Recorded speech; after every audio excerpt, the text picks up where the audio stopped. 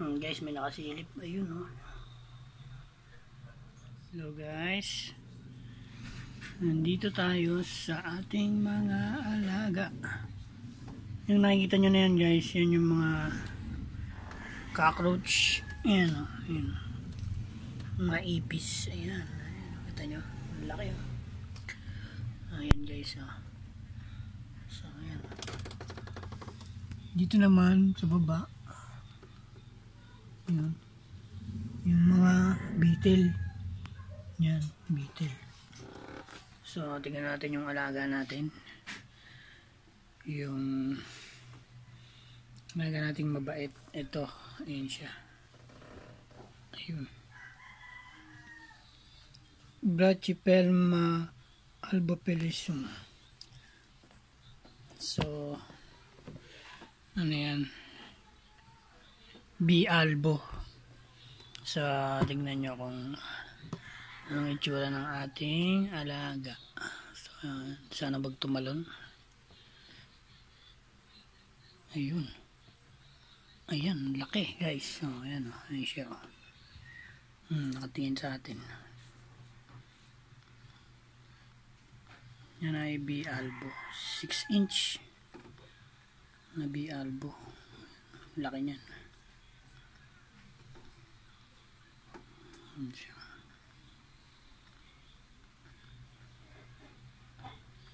Ang ganda.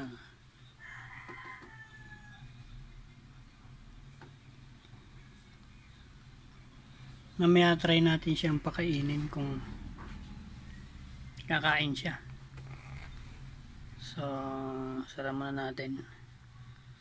Baka tumakas. So yun guys, takpan muna natin to.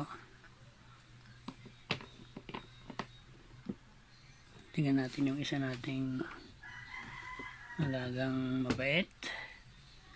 Eto. Ang isa. Battle blue. So kulay blue yung paa na guys eh pag makikita nyo. So buksan natin. Sana wag din tong ngayon siya, oh, ang ganda ng pagkakagawa ng bahay niya.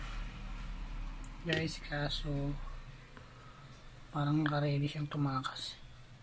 Yun guys, oh, ang ganda oh. Yan yung legs niya kulay blue.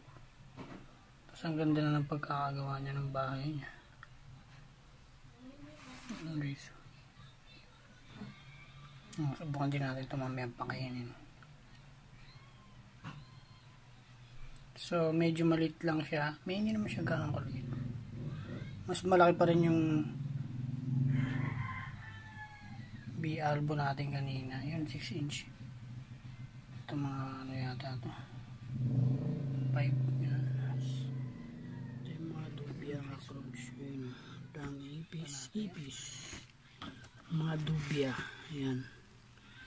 Mga, mga maliliit pa yan. Oh. Kasi nagbe-breed bibreed ko siya ng yan so kuha tayo ng isa. Kuha tayo ng isa. Ito ito ito ito. Ito ito maliit lang. Try natin. Oop. yan so ito yung ipapakain natin dito sa ating tarantula. So ayan. Guys nakakuha na ako ng isa. Ay may vlog try natin na pakain to. Hindi natin kung kakain. So yan buksan natin. Dan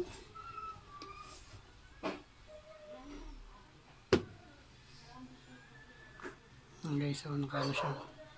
So natin to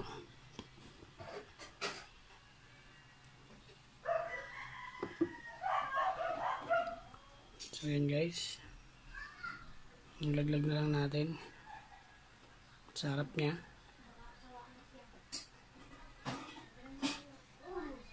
Ayaw. Yun guys. Dinalaman niya. Hmm. Tinalunan niya kagad. Ang ganda ng kulay na guys. No? May pagka blue blue siya. Oh. Sinunggaban niya kagad guys yung dubya na ipis natin. So ayan naka kagat-kagat niya na hindi natin makita. Pero kagat-kagat niya na yan. Ayan.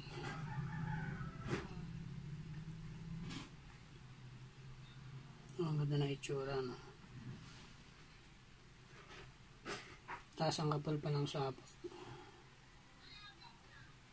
Yun guys, oh, ninunguya na niya.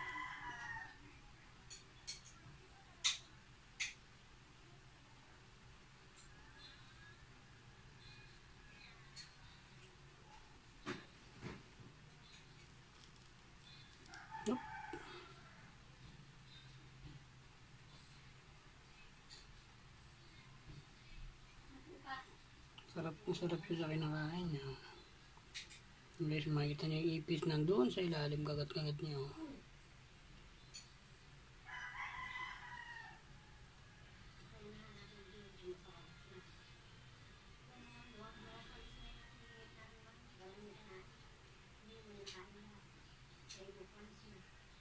Ang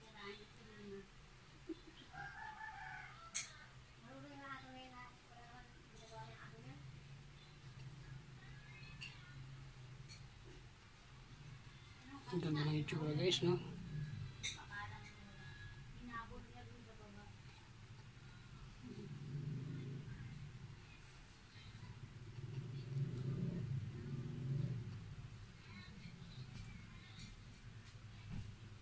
Guys, kung inuyan niya na yung ipis.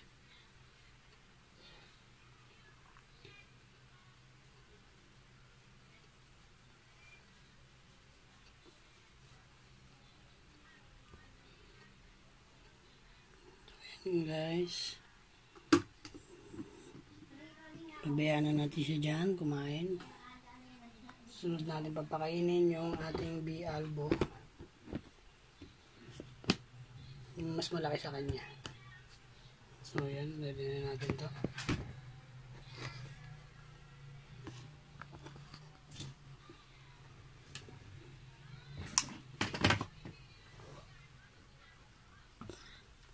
So ito, papakainin natin siya. Makuha tayo dito ng dubya. Hindi natin yung medyo malaki ng konti.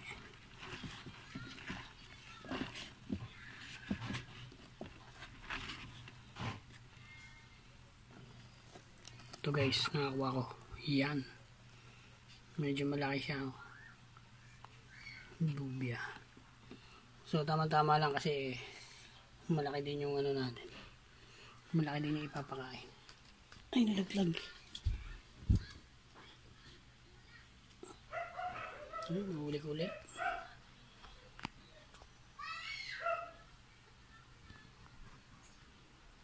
Saan natin to guys?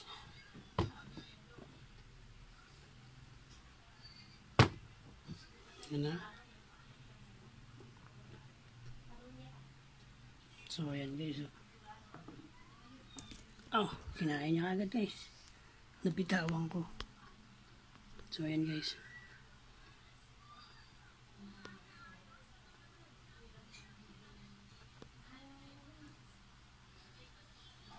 Hindi ko na ano kagad pero nakita niya sinunggaban niya agad. Guys, oh, kinakain niya na.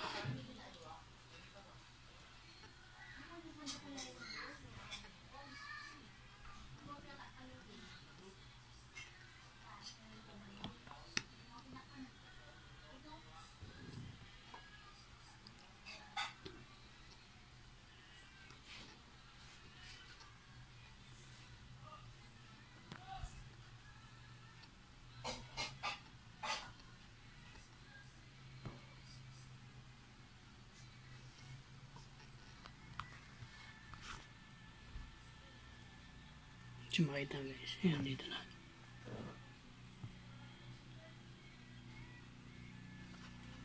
Yan yung ipis guys, oh. kagat-kagat niya na. Oh.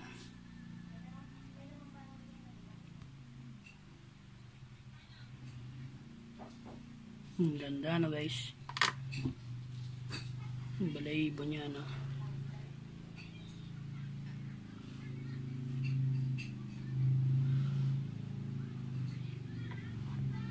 Ang laki niyan guys, tingnan mo yung kamay ko. Tingnan mo yung kamay ko.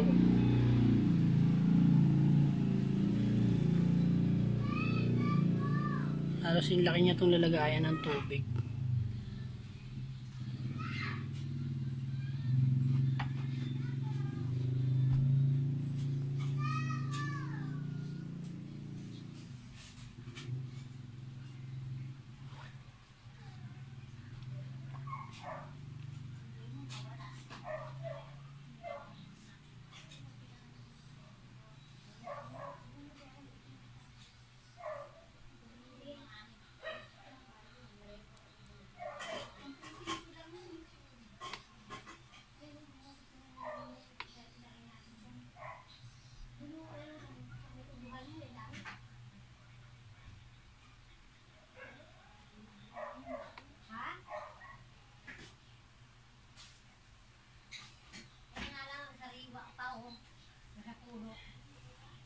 Hmm, guys, mga pinitsura. Napakaganda po. Ayan. Hmm, laki no. So guys, pag may alaga kayo na ganito, pag baguhan kayo, huwag nyo nang tangkaing hawakan, ha? Dahil alam nyo na kung ano mangyayari sa inyo. Ayun, no? Magiging katulad nyo yung ipis.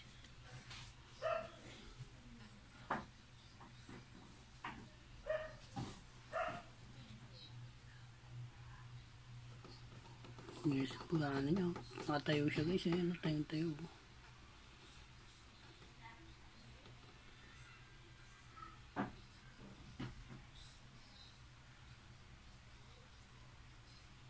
Parang tatalon, eh, hindi ko maintindihan. Ayan ang forma niya. oh.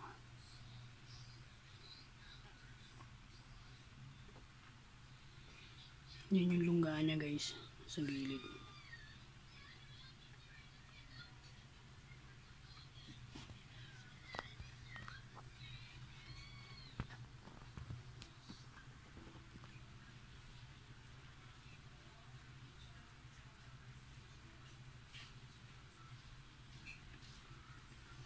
Buhay pa yung ipis.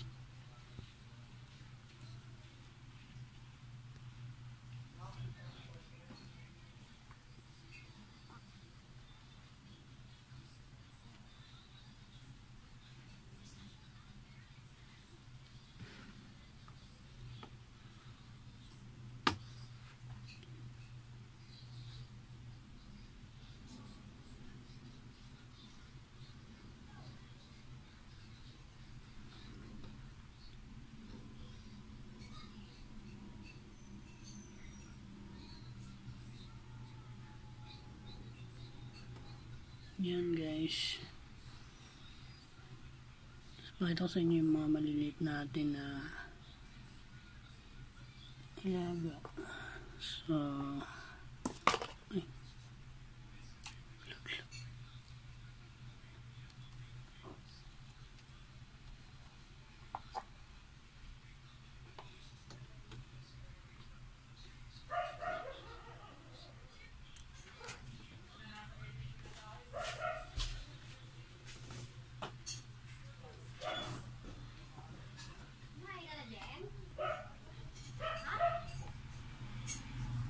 meron tayong ano centipede na maliit na yun yun siya. Sobrang liit pa.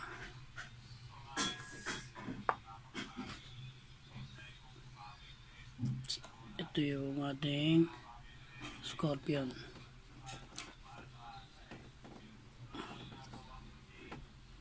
Guys nakita siya? Ay nakatago sa gilid. Ayun siya guys yan. Next video natin, papakainin natin yung scorpio natin. Ayan.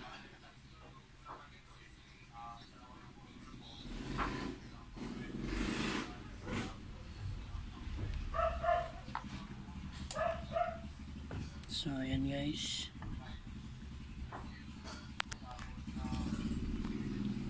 Thanks sa lahat. next time ulit